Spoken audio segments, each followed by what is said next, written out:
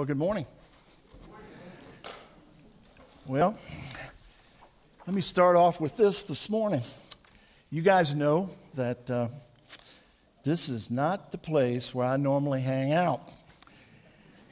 And uh, this is not the pulpit that I hang out at. My uh, pulpit is at the Baltimore Rescue Mission and at the Ordnance Road Correctional Facility when I go into the prison, and over at Chick fil A when I meet a lot of folks over there, and back in my office, back in the counseling room. So this is kind of a unique experience for me to be able to preach in the pulpit. Dr. Cassidy asked if I would speak. I told him that I would. I said, but I was a little stretched by this. But I have to tell you, I was talking with John Long on the way in this morning, he says, John, Jim, it's just like being at the mission.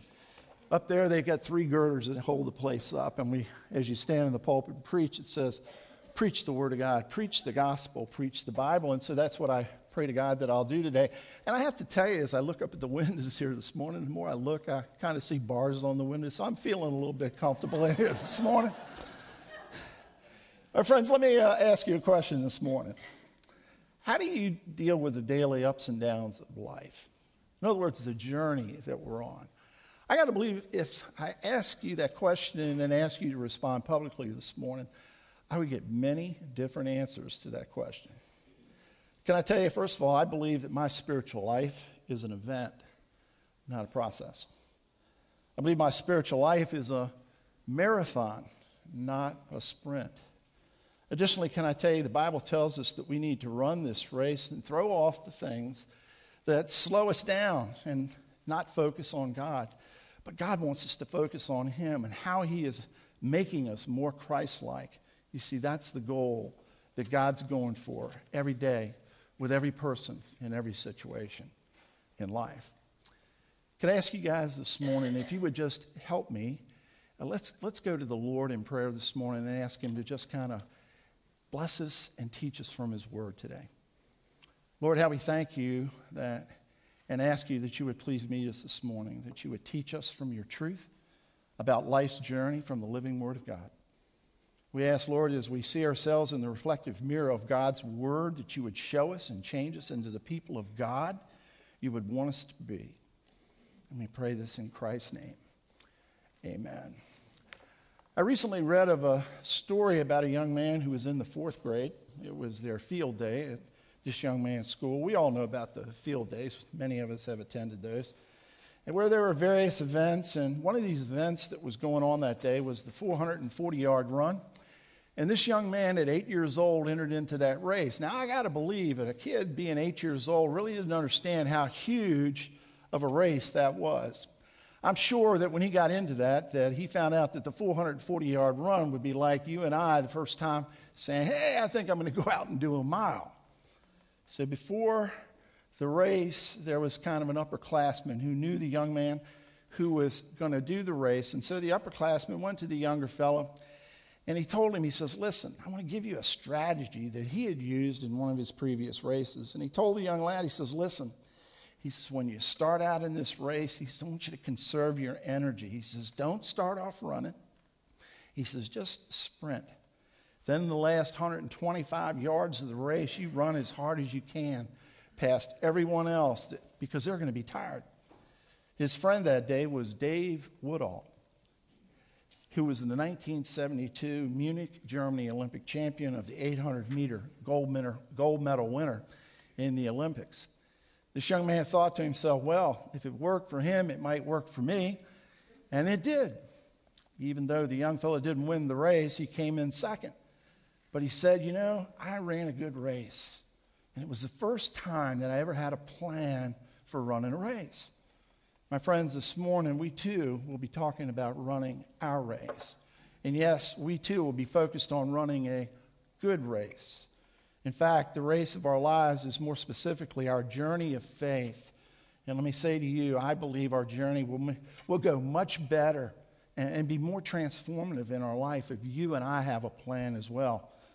But we must also realize we not only need a plan, but we need a plan coupled with a tremendous, a tremendous amount of endurance in this race.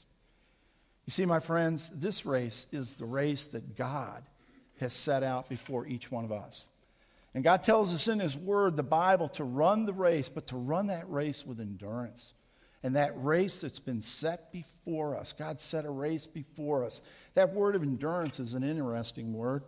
The word endurance is a word which means to remain under. In other words, have staying power. Go all in. Go that extra mile. Don't quit attitude. Let me ask you this morning to be honest here now, we're in church. How many of you guys ever ran a race? Now, I'm not asking how many people have run across the street or down the hallway or ran to get a hamburger. I'm talking how many people have ever ran a 5K race? Anyone? A 5K. How many's run a 10K? How many's run a marathon? One. Isn't that amazing? But life's a marathon. This morning, I want to tell you about an unbelievable race. This was a race of amazing endurance. I want to tell you about a fellow who ran a race and how he had planned well. You see, he needed to really plan well because this was a grueling race. This is a true story. This man ran a race of almost 535 miles. And it was a race from Sydney, Australia to Melbourne, Australia. It was the longest and toughest ultra marathon anywhere in the world. In 1983, 150 world class runners converged on Sydney, Australia for this event. And on that day, that race, a toothless 61 year old potato farmer, shepherd named Cliff Young, approached the registration table wearing his overalls, his galoshes over top of his work boots. At first, the people thought Young was just there to watch the race, but very soon, to their surprise, they found out that Cliff Young declared his intention to run the race and requested a number to participate. You see, my friends, Cliff Young had grown up on a farm without the benefit of any luxuries of horses or four wheel drive vehicles. So when the bad weather rolled in on his farm, Mr. Young had to get out, and he had to head out and round up his 2,000 sheep on his 2,000 acre farm on his feet, and sometimes he had to run those sheep down for two or three days at a time. The, the speechless staff at the registration, registration table couldn't believe their eyes, but nonetheless issued Cliff Young the number 64. As Cliff Young mingled with the other runners at the starting line, soon some of the spectators, they just couldn't believe their eyes. And they mused to themselves, they, this must be a joke. This guy's crazy. This old guy's going to kill himself. So when the gun went off, the bystanders that were watching the race just snickered at Cliff as he was just left behind in his galoshes and overalls, as the other runnies in their sculpted bodies and professional running equipment just briskly ran away from him. But very soon the snickers gave way to laughter as Cliff began to run. You see, he didn't run like the rest of the other guys. But Cliff ran what only could be described as a leisurely, old, odd shuffle. And all of Australia just kind of became riveted on Mr. Young in live telecasts as they watched the scenes unfold. Many in the country kept saying again and again and again, please stop this old guy. He's crazy. He's going to kill himself. Well, I'm going to tell you, five days, 15 hours, and four minutes later, Cliff Young came shuffling across the finish line in Melbourne, Australia, winning the ultra marathon. Let me tell you, Mr. Young didn't win the race by just a few seconds or a few minutes, but his nearest competitor was nine hours and 56 behind him. Cliff Young, Mr. Cliff Young, the Australians were stunned at this seemingly impossible victory, and many of the folks says, "How in the world did that happen?"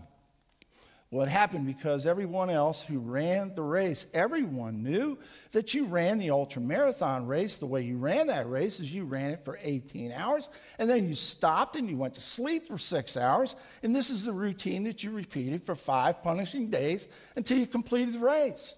But see, someone didn't give Cliff the postage note or send him the email because that wasn't Cliff's strategy. That was the strategy everybody else used, but Cliff's strategy wasn't even close to what those guys were doing. You see, Mr. Young decided that he was just going to continue shuffling along all day, all night, all day, all night without sleeping And utilizing his plan, Cliff broke the previous record by nine hours and became an overnight national hero. You see, Cliff was just an ordinary guy who did something that you look at and you say, that's absolutely extraordinary. So think about that. What happened was extraordinary. Let me challenge you this morning with what I think is another amazing moment from an ordinary to extraordinary person. There was a fella that I know, Dr. Cassidy and Pastor Steve and I and others from this church had been down to his church in North Carolina. Dr. Stephen Davey is the pastor of Colonial Baptist Church in Cary, North Carolina. Dr. Davey wrote uh, about something he read about the 16th century reformer Martin Luther. Pastor Davey said that Luther had once commented that, the, uh, that God had created the world out of nothing. And Dr. Davey said when he thought about that statement, he thought, well, you know, my own life, the fact that I'm nothing, I wonder, well, perhaps God could do something and create something out of my nothing life and do something amazing as well. Can I tell you what a work, what a work God's done in Dr. Davey's life there at Colonial Baptist Church and Shepherd Seminary, where they have training some of the champions there for Christ there in Cary, North Carolina. So, the question this morning that I have for each of us is it possible for God to take an ordinary life like mine and yours and do something extraordinary as well. We see, my friends, I see God taking ordinary men and women all the time and doing extraordinary things in their lives. I, I look at the Word of God and I just look at the apostles, fishermen. Remember those guys? They were just ordinary guys with God. And they turned the world upside down. My friends, just like Cliff Young was victorious through his plan and great endurance, victory comes to the Christian through a life with a plan and great endurance as well. So, my friends, let me remind you once again that life is not a 100 yard dash, it's a marathon. You see, in the short distance, we need speed, but in the marathon, it's all about endurance. That's what leads to success. And God tells us to run that race that's set before each one of us. And each one of us must race, run the race that's our, ours. And we need to read, run it in our own special way. Yes, with the talents. Yes, with the gifts and the abilities that God's given us. And yes, even the disabilities that God's allowed us to have. Today, I want to take us to three verses and look at three verses from the book of Hebrews. If you got your Bibles, if you would turn in your Bibles this morning to these verses that are just filled with athletic terms and running images. But beyond these images are some, some concrete guidelines for how to run a race, how to run your race. Turn with me, if you will, in your Bibles to Hebrews chapter 12, verses 1 through 3, where it says these words Therefore, since we are surrounded by a great cloud of witness, let us throw off every weight and sin which so easily ensnares us. Let us run with perseverance, or some may have endurance, the race that's marked out before us for fixing our eyes on Jesus, the author and the perfecter, the finisher of our faith, who for the joy that was set before him endured the cross, scorning its shame, and sat down on the right hand of the throne of God. He says, Consider him who endured such opposition from sinners against himself that you and I will not grow weary or lose heart or become discouraged. My friends, did you notice that this passage begins with the word therefore? Therefore means to look back to the verse that preceded that verse. However, in this case, it wasn't just the verse that we need to look back to, but we need to look back to the beginning, to the whole chapter of chapter 11. If you see, chapter 11 refers to and is often called the, the Faith Hall of Fame. Chapter 11 chronicles the faithfulness of many generations of men and women from Israel's past who had run their race. Very quickly, as we look into chapter 11, if you will, starting in verse 4, notice by faith Abel. Verse 5, by faith Enoch. Verse 7, by faith Noah. Verse 8, by faith Abraham. Verse 20, by faith Isaac. Verse 21, by faith Jacob. Verse 22, by faith Joseph. Verse 23, by faith Moses. 30, By faith, the walls of Jericho fell down. Verse 32 or 31, Rahab the harlot. And then you have verse 32 talking about Gideon and Barak and Samson and Japheth, David and Samuel and the prophets. My friends, here's what I believe the writer of Hebrews is saying about who these great cloud of witnesses are and what they're saying to you and me today. I think what they're saying to us is, guys, you always need to have a big view of God. Let me say that again. We always need to have a big view of God and God's Word. For if God's Word and God is big in my race, then my problems in my life's journey will not dominate the conversation. However, if the voices of my problems become bigger than my God and the Word of God, if I allow the voices of fear and anger and self pity and discouragement and many other voices that are in the marketplace of life to consume my thoughts, then these thoughts, my friends, are going to take me to some very dark places in the race of my life. My friends, the Apostle Paul wrote some amazing words over in Romans 15, verse 4. If you want to turn there real quick, Romans 15, verse 4, it says, For everything that was written in the past was written to teach us, so that through endurance, there's that word again, taught in the scriptures and the encouragement that's there as well, that they would provide that we might have hope. Can I tell you? Can I tell you that these guys, these folks in, in chapter 11 want you and I to know that a life of faith is a life that wins. They want us to know that it's true not only in the day by day activities when everything's rocking and things are going my way, but they want us to know when the roof blows off the house and the bottom falls out and you come to the end of yourself.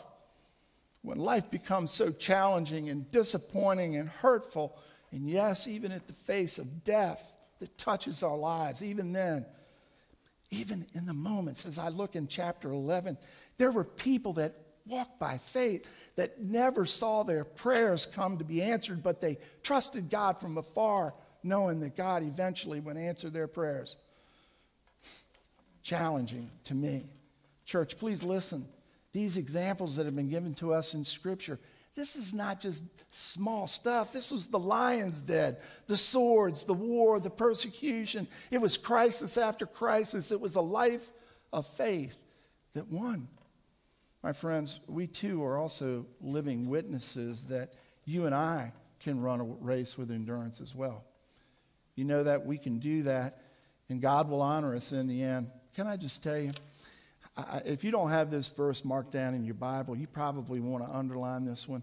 This is something I hold on to uh, in, when life comes and there's difficult challenges. It's, it's Hebrews 13 5. Many of us know it. We've known it for many years. God tells us that He will never, did you get that? Never leave us or forsake us. You see, God is always in, all the way in, in our life's journey, no matter where we're at. What a promise. Amen. So, God, guys, in chapter 11, there's an exhortation to live life and run a race. And I can almost see these folks, they're standing on the sidelines of our lives, kind of cheering us on. They're saying to you and I, based on faith. They're saying to us, don't quit, guys. You can run that face. Listen, based on the faith that they believe, God went through crisis after crisis to victory, and so can you and I run that same type of race as a testimony of those witnesses. Look at them, one after another. I'm just so challenged by their lives. Think about Abel. Abel, right through the crisis of hatred through from his own brother. Noah, the crisis of a generation of people who just laughed at him, mocked at him, and scorned everything he did. Abraham, the crisis of being promised a nation and didn't have a son. Crisis after crisis after crisis.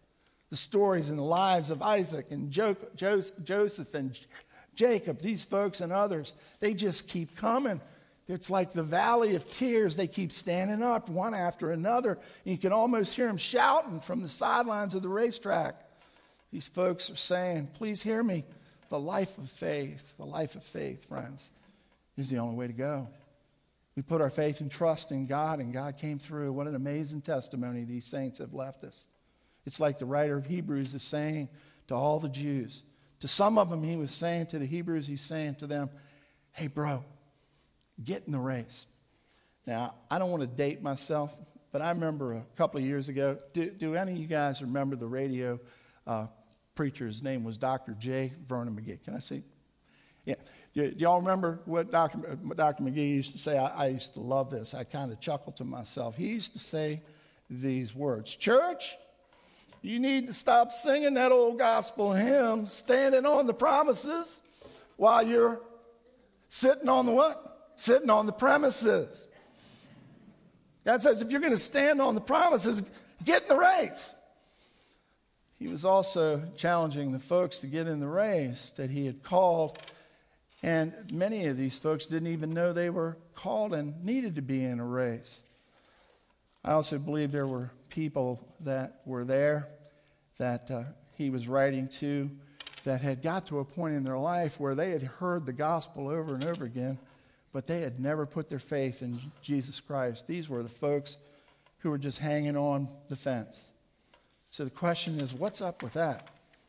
So let me ask you today, friends. How are you doing in your own spiritual journey today?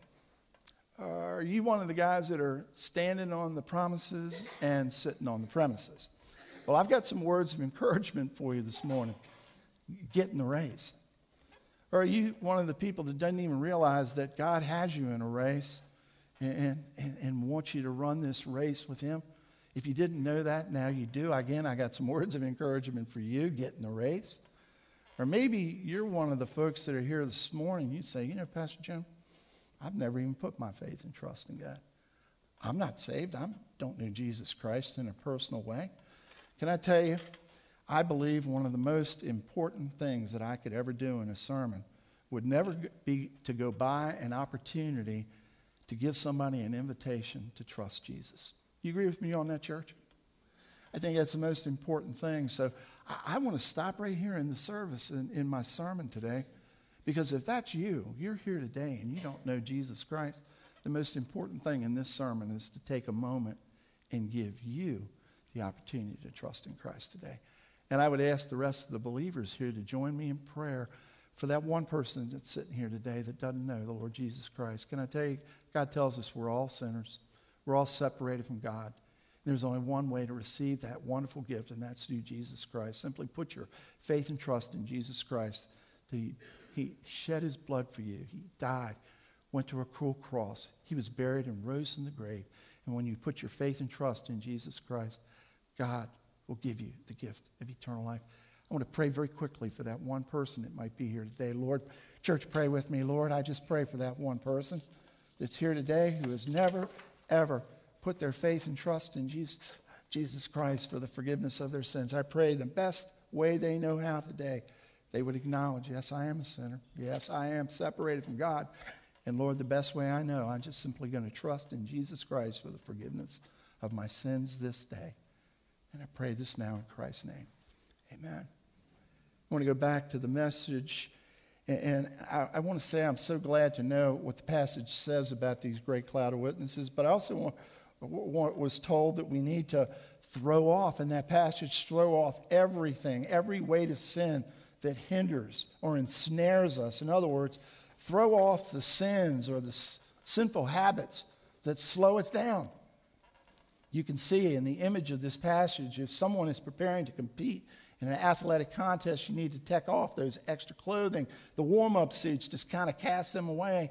But not only the clothing needs to be removed, but you need to remove some of the extra weight, and some of us need to shed a few pounds of the habits that we've been carrying around for a long time.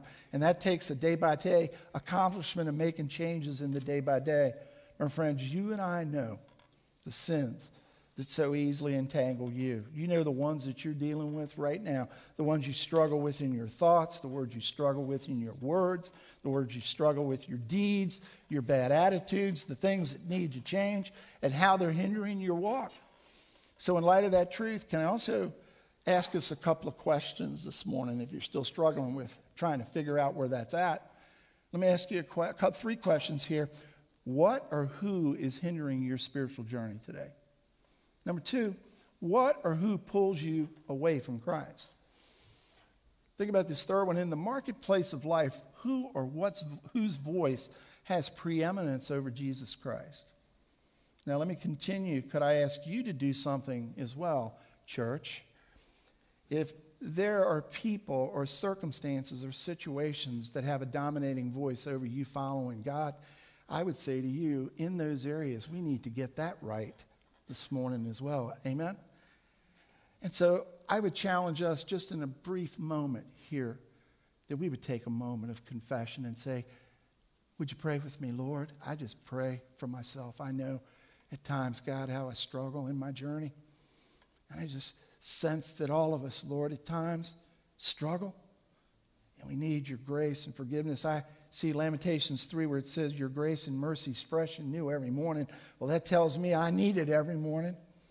And so I'm asking this morning for my brethren here that you would give us your grace and mercy and forgiveness, fresh and new, right here, right now. This morning we pray in Christ's name. Amen. Continuing on in the Bible, the Bible says, Let us run that race with perseverance, that race that's set before us.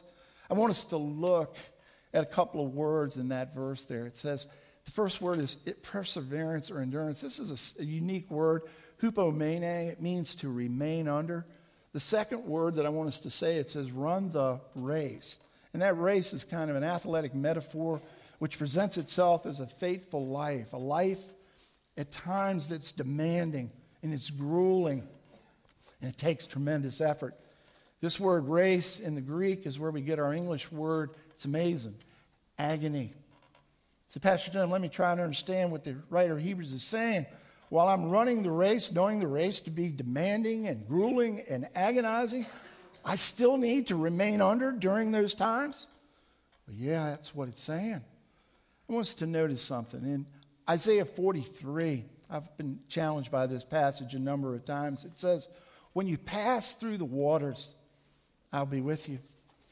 When you pass through the rivers, they will not overflow you. When you walk through the fire, you'll not be burned. Did you notice he didn't say the words, if you go through the waters, if you go through the rivers, if you go through the fires?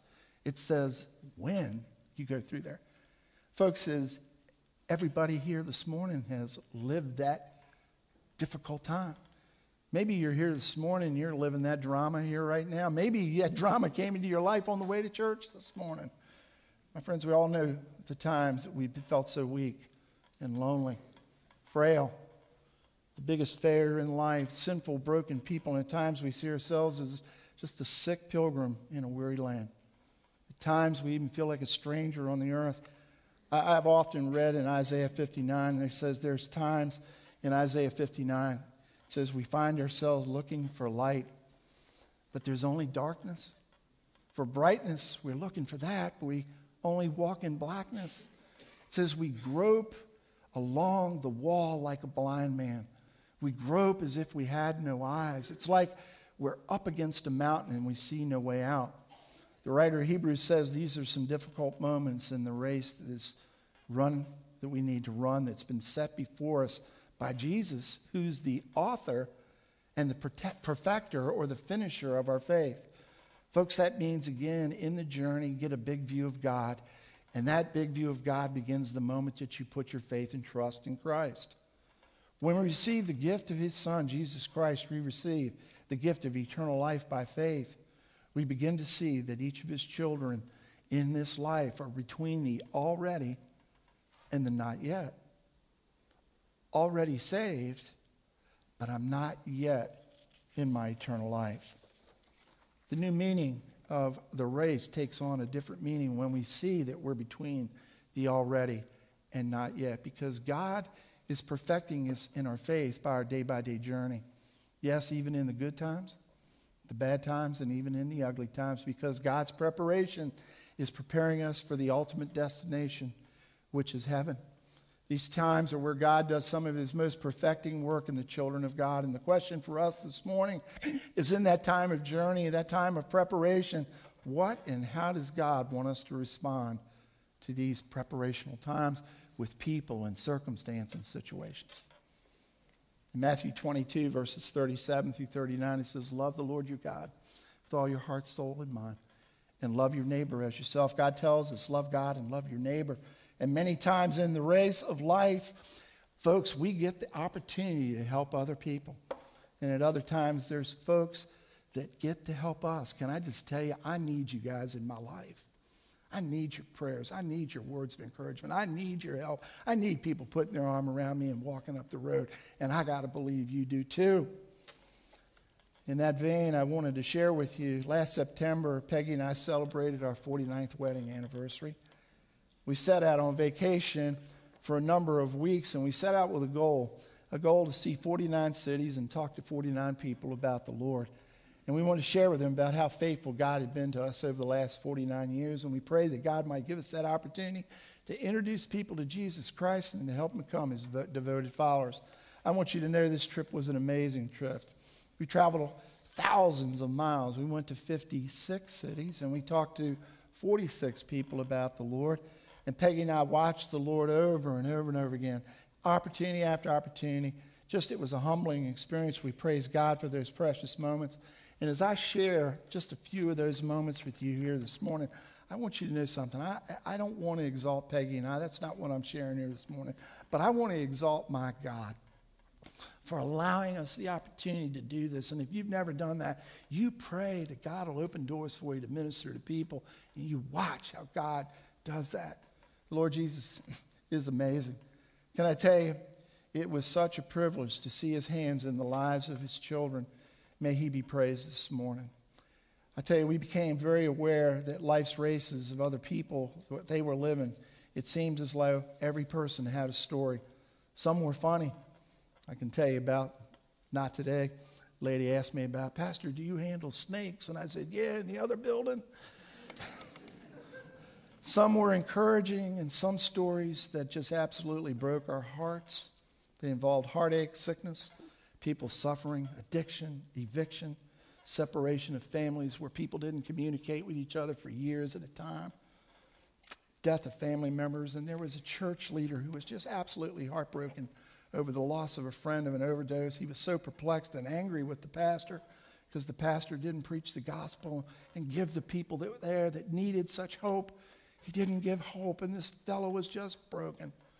So we were just thankful and joyous and meeting another young couple who were married for two years to give words of encouragement to that. Another fellow we met was just praising God. He was an older fellow who was thankful that he had the opportunity to take care of an elderly man, and that provided him a place to be able to live. Each person we met was so special and such a blessing. And there's this one young man I want to tell you about here this morning, and I've changed his name. I want to tell, call his name here this morning. His name is David. And uh, we met David, who worked in one of the local attractions in one of the stores. David worked there while he was going to school. See, David told me that he was in Bible school seminary, and I asked him what brought him to Bible school seminary, and I told him that I was a pastor. He told me that when he was 10 years old, that someone had sexually abused him, and his life became a train wreck. On so many fronts, he said, Pastor Jim, I've been living a lie. I lived Shame and guilt consumed me. There was confusion about my sexuality. I was seething with anger towards God for allowing all this to happen. You can only imagine the turmoil this young man had gone through. But then he told me, he says, I've lived such a dark life for a number of years, but God, in His grace and mercy, put a godly man in my life to help me. This godly man loved me. He listened to me. He cried with me. And he led me to Jesus Christ to receive the love of God. And he shared the gospel with me. And this young man got saved. He was 26 years old. And God was restoring in this young man's life what the locust was eating. God was transforming this young man's life. David asked me, he says, Pastor Jim, what brought you and Peggy to the attraction today? and uh, I told him, I says, well, you know, we had such a desire. We wanted to visit 49 cities and talk to 49 people about Jesus Christ. And each day we began our day in prayer, asking God that He would put people in our lives that we could just or needed to be able to be talked to. And so, David, David, today, I believe you're our answer to prayer from God. I asked David, what did he believe God was doing with him in Bible school or seminary? And he said to me, Pastor Jim, he says, you know, that's the question I've been wrestling with for a long time. I, I don't know. I told him, I said, David, I don't presume to know the mind or actions of God, but I want you to think about something. In 2 Corinthians chapter 1, verses 3 and 4, it says these words, friends. Praise be the God and Father, our Lord Jesus Christ, the God of all compassion, the God of all comfort, who comforts us in all of our troubles so that we can comfort those with the same comfort that we ourselves have received from God. I said, David, just maybe in the same, same way that God put someone in your time, in your life in that desperate time, maybe God has put you in school to put the tools in your toolbox so that you could be that same godly man to another child's life. I told him, you know, Dave, there's a lot of Davids out there. There's a lot of kids that are broken and need the kindness and understanding and grace from someone who really knows and has lived the hurt, but really knows the beauty and freedom of the gospel and is free from the bondage of sin and that, and knowing Jesus Christ. And I prayed with him, and we left. To say, that was a profound emotion. I can't even keep it together. It was a profound emotional moment. It would be an understatement. In conclusion, I want to challenge us. Maybe the difficulty you're going through today, maybe God wants you to be that person to bring comfort to someone else. As we travel, I know young ladies got some pictures up here. I wanted to share this picture with you here this morning as I'm getting close to the clock. This was a picture in Utah. The picture I wanted to share with you this morning was it's kind of about the race. And I've shared this photo with a number of people here in this church. And uh, these folks have told me, Pastor Jim, you need to share these photos with other folks. One of the people I shared with is my friend Dick Olney. I think probably Dick's here, I'm not sure. But Dick and I are friends. We meet every Monday morning for two hours over at Chick fil A. Dick and I have been meeting with one another, praying with one another, talking about the Lord with one another, just growing in the Lord with one another. And Dick's given me permission this morning to share with you about how these photos impacted him. And I, am sure you'll see a connection point in just a moment. As Dick saw these photos, Dick saw things that challenged him and encouraged him. Can I tell you, this first picture is, if you see all the way back, there's mountains way behind the large things that are, uh, the large mountains that are there.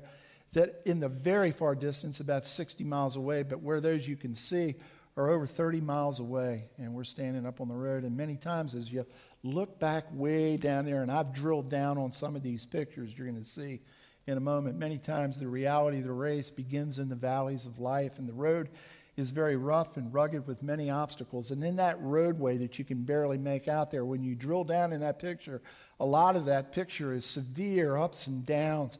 And some of the road is even washed away and the road's blocked. And sometimes the road is blocked completely. And, and it is in that road. And sometimes you got to get over in that desert area. And can I just tell you, that desert area is just filled with rattlesnakes and scorpions.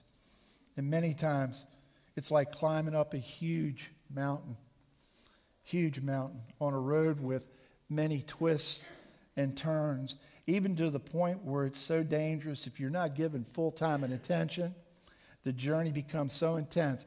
Let me tell you, at that one little place where you can see right there, that turnaround right there drops off about, I don't know, 2,500 feet just on the pathway. If you're not giving attention, it, you're gone. It's kind of like that in life. If you're not giving attention before you know it, you can be in the ditch. And yet there's, or t- it's amazing. And yet there are the times we come to when we come to the end of ourselves at a complete dead end, absolutely no place to go. You see that ledge out there and that wall? You see, that's where my friend Dick Alling told me. He says, Jim, that's exactly where I was seven years ago. Dick said, when I sat down and I got the got the diagnosis with my precious wife Carol's diagnosis of Alzheimer's disease, I didn't know what to do. I didn't know where to go. I didn't know what to say. I was at a point of desperation. I just couldn't get over that mountain. I didn't know what to do. Even my son came to help me, and I rejected his help. He says, I got to make that right. Dick, but I want to tell you something. Dick got to a better place. I want to show you the next photo, if it's there. See, God got him away from that up against the wall and put him on the road. But he allowed Dick to only walk so far because the next picture will show you down in the corner is there's the road takes you between the rocks to the point of what you just don't know what's coming around the next corner. And that's kind of where our life is. We walk by faith and not by sight. But you know, my friends, in the end, we see our lives, we can look back and see God's handiwork in the race many times, but we're captivated many times by the pain and difficulty. Can I tell you, church, I want you to listen in those moments. Don't quit. Today, you might find yourself up against the mountain like Dick Olney did, with almost no place to go, no way out. But God still tells us to walk by faith and not by sight. God tells us to remember with Him all things are possible. God tells us, my friends, we're in a great race. We're in a great race with a great God who's doing a great work to take us to a great place. So let me say again don't quit. Keep running the race. God will make a way. I love this verse. Psalm 31:15 says, "My times are in God's hands." Can you think of a better place to be? My times are in God's stands. I want to close this morning with the words of a hymn. I want to ask Dave Moritz. Dave Moritz here? Dave's here. I want Dave to come and accompany us. And then as I read the, this hymn to you, I'm sure it is a hymn that's uh, familiar to many of us. I want you guys to sing the chorus with me at the end, but I want you to hear the words of uh, this song. Sometimes the day seems long, our trials are hard to bear. We're tempted to complain, to murmur in despair. But Christ will soon appear to catch his bride away, all tears forever over in God's eternal day. At times the sky seems dark with not a ray and light. We're tossed and driven on, no human help in sight.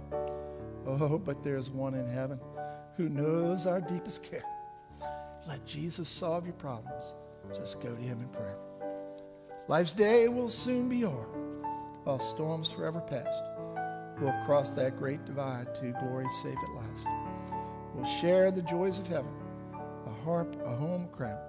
The tempter will be vanquished and we'll lay our burdens down. Charlotte, can you put that picture up here? And folks, would you all sing that song? It will be worth it all. Sing it with me.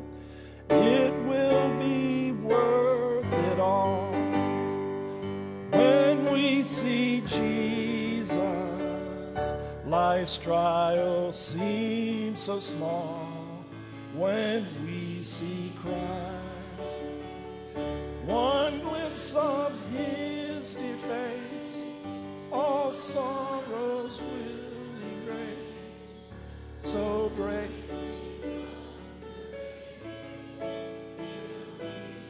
Sing it one more time with you folks. It will be worth